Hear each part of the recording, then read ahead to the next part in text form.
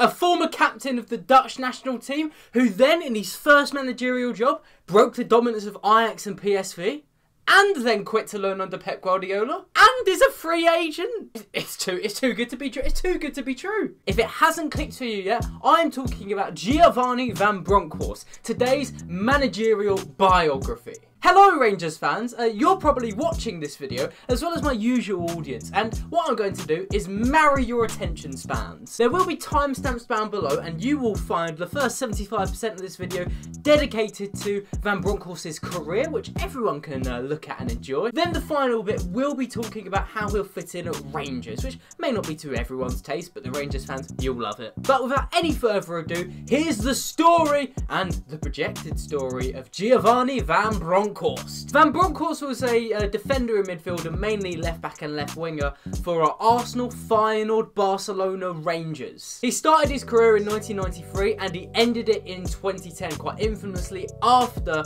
the uh, 2010 World Cup, where he captained the Dutch national team in their brutal defeat to Spain. Now, despite that team being quite famous for its foul play, Van Bronckhorst was always noted as a technically gifted player and particularly on his tactical intelligence. See, he came through as a left winger, but he was noted to have the understanding to play and cover defensive roles, and that's where he moved backwards into his career. In his career, by the way, he won two SPLs, a Premier League, and two La Ligas, and a Champions League. Now, one reason men like Arteta and Lampard get big jobs quite quickly is because of the perceived education they've had in their playing career, the managers they've worked under. Now, Van Bronckhorst is no exception. He's worked under Dick Advocaat, Arsene Wenger, and Frank Rijkaard. Now, Rijkaard is quite an influential manager. He laid the foundations of Pep Guardiola, whereas Advocaat and Wenger may be more cultured and they have experience and expertise across multiple fields. And after retiring in 2010, Van Bronckhorst went on to become a part of Feyenoord's coaching setup. Now, at first, Van Bronckhorst started um, the pretty low down the ladder. He was actually the assistant to the under-21s manager of Feyenoord, and this was around a time they were financially struggling. I like this because it does show he started from the bottom to get to the top. Then in 2011, he was announced as the assistant to Ronald Koeman, who took over Feyenoord. And it's worth saying that the assistant managers do have a lot of responsibility in the team. I was speaking with my friend Jack, his at is on screen, who knows quite a lot about uh, the in workings of football, and he, he mentioned and showed to me that really it, it can often be like a 50, 40, 60% split between the head coach and what the assistants do for the team. And if that's true, it's a glowing reflection on Giovanni Van Bronckhorst because in his first season with Koeman, Feyenoord finished second. In the descending years before that, they finished 10th, 4th, and 7th. Koeman and Van Bronckhorst that's getting too long. Koeman and Gio. Gio's quicker, Gio's shorter.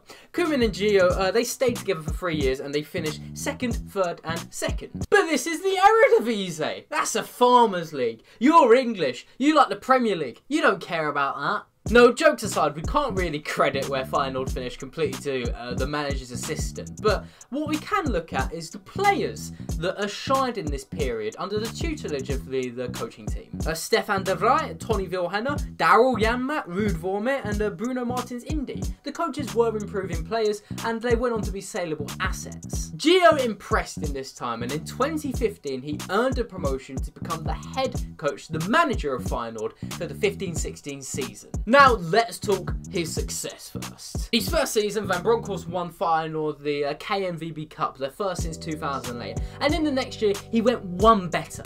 He won final their first title since 1999. And coincidentally, they won that the year after Van Bronckhorst left uh, Feyenoord as a player. Across four seasons, Feyenoord finished third, first, fourth, and third. And uh, since that uh, Gio's left, uh, they finished third and then fifth. See, Feyenoord may be the third largest club quite clearly in the Netherlands, but their their financial situation is quite comparable to Rangers. In in fact, across Van Bronckhorst's four years in charge, Feyenoord spent just 38 million pounds while selling 58 million pounds worth of talent, and Gio never complained about it. That's quite comparable to Rangers who spent nearly £30 million in the past three years. And that is during COVID. See, Gio did very well to develop a side that honestly had little talent and after he left, uh, basically really didn't do much in their careers. In their first season, they had Michiel Kramer, who uh, is still in the Eredivisie, age 26. They had Eljero Elia, who is the five-star skiller you've used on FIFA, and they also had a 34-year-old Dirk Kuyt, who, by the way, in the 15-16 season, uh, Gio got 23 goals out of the former Liverpool forward. And in the next campaign when they won the league, he got 12 goals. Maybe Kuyt was carrying them. Wrong. See, there was an article at the time uh, that looked into Feyenoord, and it really praised their collective spirit, and it was invoked by Gio's charismatic personality. He's noted as a brilliant man manager. In fact, when Tonny Vilhena left the club in acrimonious circumstances, he came out and like blasted everyone, apart from Gio, who in fact he came out and made sure he said uh, to thank him for the confidence he gave the player. See, the Rotterdam side ran riot in the early years. They were great at creating good chances. They took 0.6 shots outside of the box, less in 15-16 than they did in 14-15. That shows that they were more efficient in their chance creation and shot taking. They also completed more dribbles per game too, maybe another inclination that a little bit more exciting. Now the title win in particular was praised for having balance in the 4-3-3 system you can see on screen. Every player knew exactly what they were doing and they were extremely well disciplined. Now this fills me with confidence uh, for Rangers fans or wherever Gio goes next because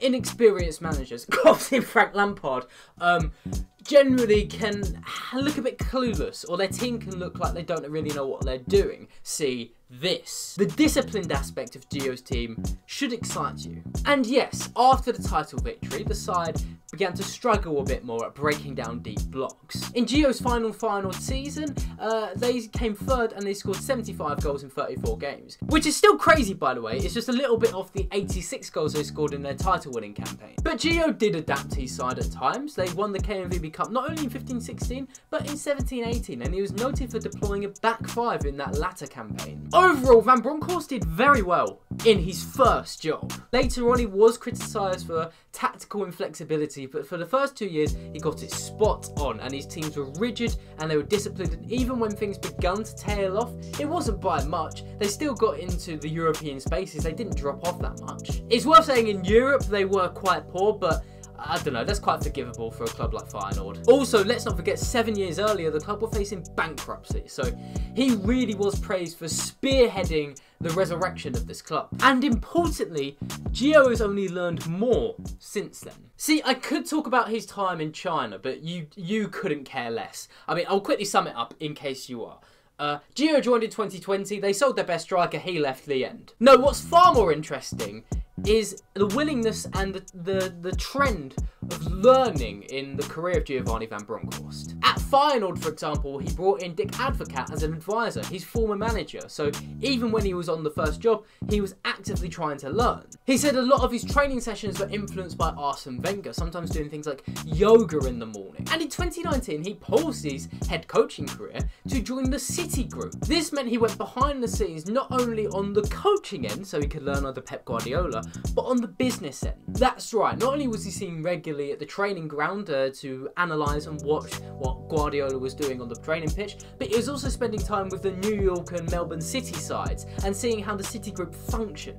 Now, this should excite Rangers fans because the City Group are kind of comparable to Red Bull, Red Bull Leipzig. It's a hive mind of intelligence and football thinking. To even spend six months there, like Gio did, that must have brought on so much education that most managers would miss out on. A good example of someone who spent time there is Patrick Vieira. He spent quite a lot of time in the City Group first at City and then at New York City FC.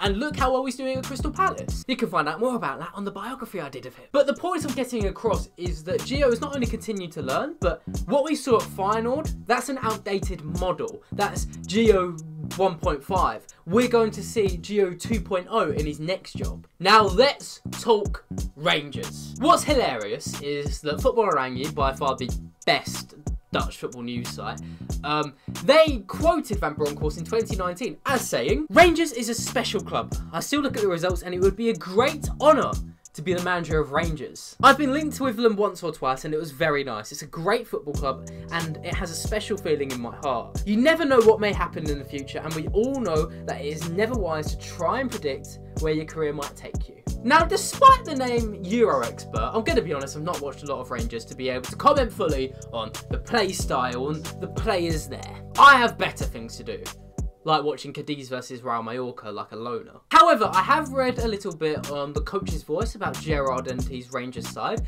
I've been looking at what fans have been saying about the fears and benefits of Gio coming in, and I've been reading a bit on the, the players and the play style. So Gio did well at Feyenoord with his 4-3-3. Like I said, they were disciplined, but also they like to move the wide midfielders or the central midfielders into wider spaces to create overloads and help uh, Feyenoord progress up the pitch. They also like to put emphasis on crossing and get the ball into the box. Not in a Sam Allardyce way, just a bit more technical than that. Gio also has a squad as well that was filled with young players, and he proved he could work with them well. So with Rangers' current setup, I think it's a perfect fit. From what I can see, they're playing a 4-3-3 pretty exclusively. They have wide talent in uh, Ryan Kent and Tavernier. Aribo is a midfielder too who clearly likes to operate in wide spaces. Look at his heat map from this season. The squad is also full of young players. You've got uh, Calvin Bassey, Ianis Hagi. Now, of course, it's hard to speculate exactly what Gio will be like. As I said, we've only seen an outdated version of him, which is quite exciting. Still, I suspect Gio is going to come into this Rangers side,